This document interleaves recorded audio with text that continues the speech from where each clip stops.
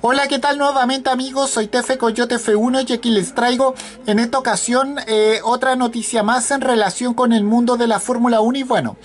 esta tiene que ver con el polaco Robert Kubica porque como sabemos Robert Kubica eh, renueva un año más como reserva del equipo Alfa Romeo Racing y bueno, como sabemos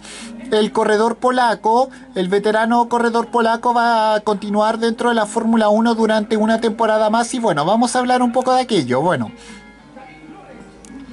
como sabemos, Robert Kubica no le pierde la cara a la Fórmula 1, nunca lo hizo pese a las puertas que encontró cerradas o de los accidentes que pudieron aportarlo de su sueño como el que ocurrió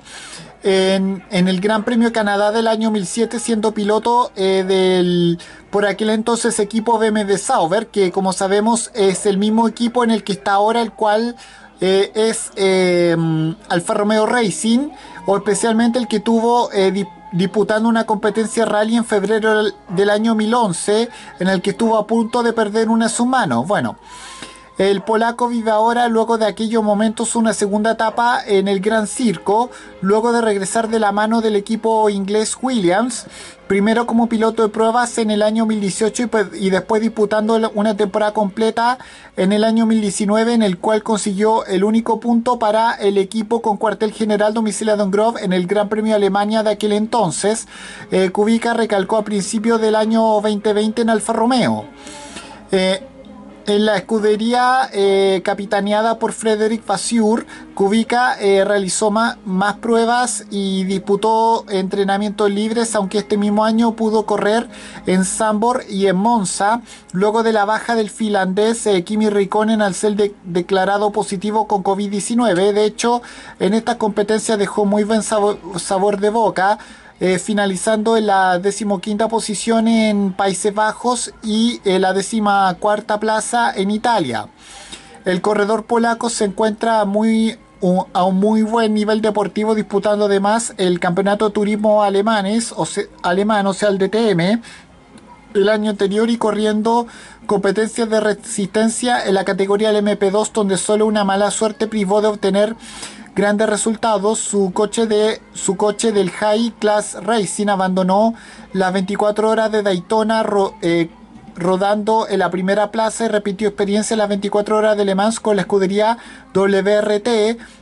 pero de una manera mucho más cruel en la última, en la última vuelta de la mítica competencia de resistencia francesa. Eh, es por su buen estado de forma particular más allá de estos, de, estos desafortunados eventos en los que Kubica quiere continuar dentro del Gran Circo y lo hará en 2022. El propio eh, piloto de 36 años de edad anunció que seguirá durante una temporada más como piloto reserva del equipo Alfa Romeo Racing gracias al apoyo de una compañía, de una compañía petrolera polaca llamada PNK Orlen.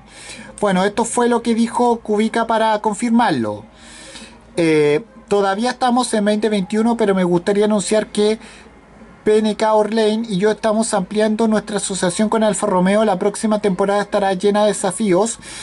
pero con suerte conseguiremos hacer buenas carreras. Espero volver a ver a los aficionados en la pista. Eso es lo que dijo el mismísimo Kubica para confirmarlo.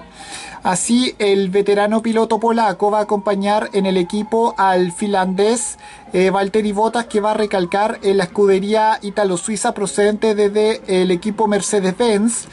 y al chino Wang Yuzhou, el que será el único, eh, bueno, que que va a sustituir al italiano Antonio Giovinazzi, que se irá a la Fórmula E para convertirse en el primer piloto chino en la historia de la Fórmula 1 y que además va a otorgar un gran impulso económico a la escuadra italo-suiza. Y con esto me despido, adiós, como fuera, chao.